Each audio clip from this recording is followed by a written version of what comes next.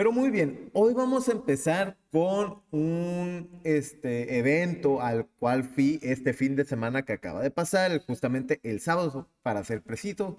Fui a ver al maestro John Milton. A los que no conozcan a John Milton, es un hipnotizador muy famoso que viene muy seguido a la ciudad de Tijuana. Este, y pues básicamente lo que hace es que te hipnotiza da una serie de palabras, una serie de argumentos, de oraciones para ayudarte con ciertas, este, vamos a poner, aptitudes, eh, diferentes cosas, si quieres adelgazar más rápido, si quieres evitar el estrés y todo ese tipo de cosas, ¿no?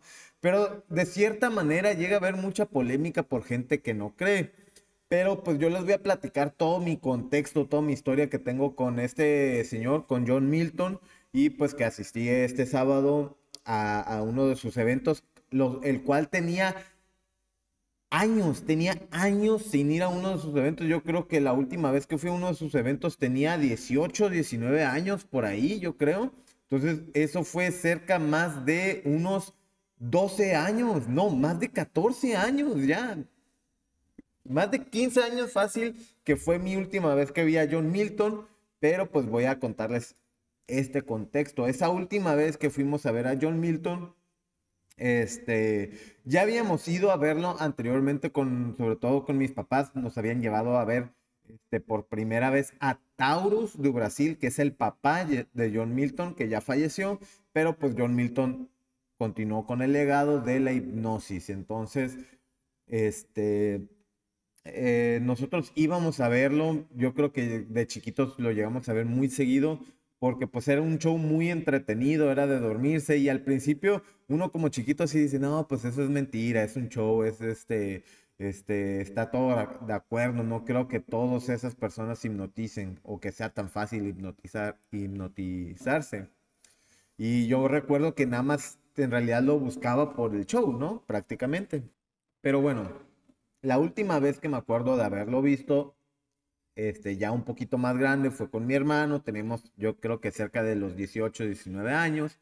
Y pues fuimos y con un grupo de amigos y tratamos de hipnotizarnos. Yo no pude hipnotizarme, yo quedé como que a medias, así como que todo tuerto, se me engarrotaron los brazos, ya me habían levantado para llevarme, pero me desperté a media a medio camino. Mi hermano sí se lo llevaron. Se lo llevaron para para, para, para el escenario y todo, y estuvo ahí un buen rato, estuvo casi toda la mitad del show, incluso pues hizo ciertas actividades, cierto, este, ciertas cosas, y la experiencia que me decía mi hermano era de que no, pues es que él sentía que como que sabía todo lo que estaba haciendo, pero no sabía dónde estaba, ni, ni el tiempo, ni el lugar, ni nada, pero él sabía todo lo que estaba diciendo y, escuchaba pues una voz que le decían y él contestaba y todo eso, ¿no? Hizo alguna sección. Y pues ya, esa fue prácticamente la última vez que habíamos tenido contacto con John Milton. ¿Qué les digo? Ahí del...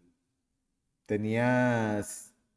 Hace fue, ¿qué les gusta? Fue hace más de 15 años, 2010, menos del 2010. Entonces, de ahí nos alejamos de ese tipo de shows, no volvimos a ir a ver a John Milton, lo veíamos anunciado, pero como que ya no había ese interés por ir a verlo.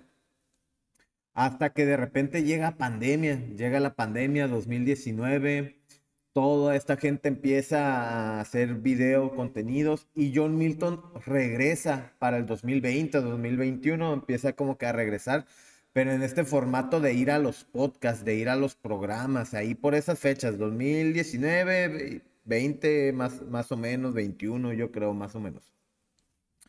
Entonces, yo para ese tiempo yo veía mucho Franco Escamilla y pues el Tirando Bola, todos los programas que subía a YouTube y en una de esas pues hace el Tirando Bola con el John Milton, pero con todo el crew de, de Franco Escamilla y pues los va a hipnotizar.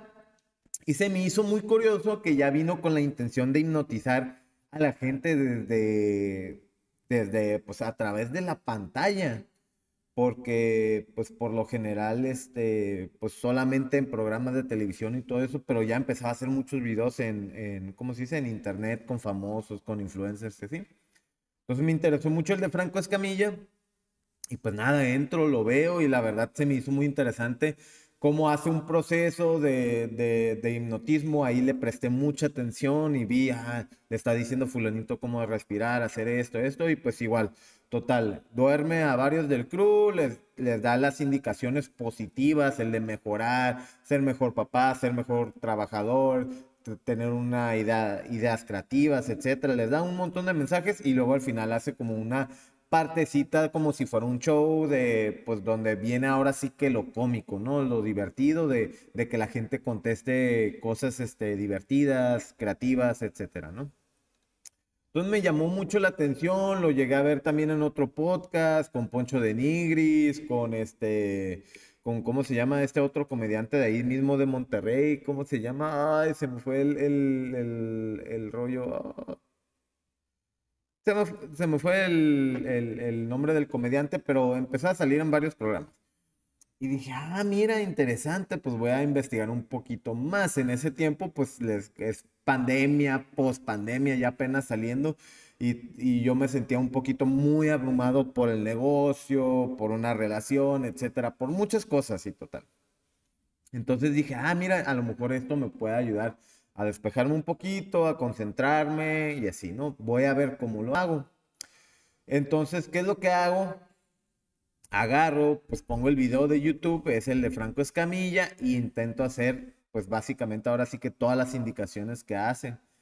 Y quedo totalmente perdido, totalmente hipnotizado en, con, e, ese audio, con ese video de, de YouTube lo escucho y, quedé sorprendido porque sí llega, sí llega a tus fibras. En ese momento, pues yo estaba en, mi cuarto, estaba acostado, así, y escuchaba todo, entendía todo, este, me sentía como paralizado, todo lo que explicaba él, este, me estaba pasando, tenía las manos tiesas, entonces e incluso cuando toca un poquito fibra ahí de, que, pues, de que te empieces a acordar de tus, de tus personas, que dejes el bagaje, cosas pesadas, cosas que te están estresando y así, pues incluso hasta, hasta lloré en esa primera ocasión que, es, que hice ese primer, este, esa misma, esa primera terapia de, de hipnotismo.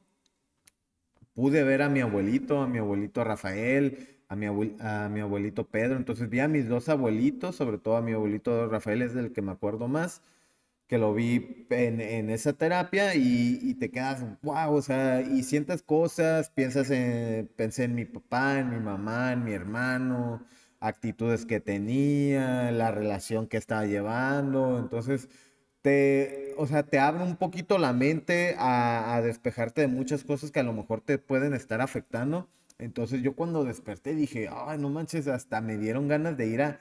En ese momento estaba en la casa de mi mamá, entonces fui, abracé a mi mamá y le dije, mamá, tengo muchas ganas de abrazarte, que no sé qué, que te dieron, ¿y qué pasó? ¿Y qué pasó? Porque, o sea, me desperté cuando me desperté de esa terapia, que es una terapia como de una hora, llorando, llorando, ay, man, eh, ¿qué pasó? ¿Tienes algo? ¿Te pasó algo? Y que no sé qué, no, no, no, es que acabo de hacer una, una hipnoterapia del John Milton en, en, este programa de Franco Escamilla y todo eso, y vi a mi abuelo, y le dije, vi a mi abuelito Rafael, y pasó eso, eso, esto, y me siento, y no sé, nomás te quería decir que te quiero mucho y que no sé qué, y también me acerqué con mi papá, le dije que lo quería mucho y todo eso, entonces, como que cierto toca ciertos puntos que a lo mejor no están tan abiertos tan normalmente, te los abre o te hace como que esa llavecita como que, a ver, esto lo tienes muy guardado, lo tienes aquí, pero necesitas ese empujoncito, esa llave para abrir esa parte que no has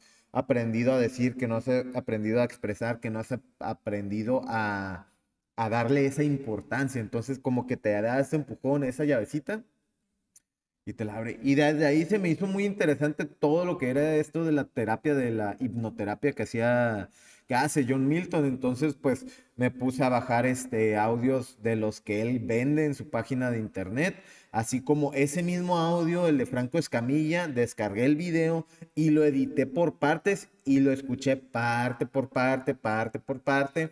Este, donde pues ya lo quise especializar un poquito más y ya quitaba los nombres de la, del crew de Franco Escamilla cuando mencionaba un nombre en específico, ya los iba cortando para que yo escuchara como señales generales, quité por ejemplo indicaciones de, que le daba a los que son a los que son papás, quité esas indicaciones porque pues a mí no, no, me, no me servían en ese momento, no me sirven en, este, aún.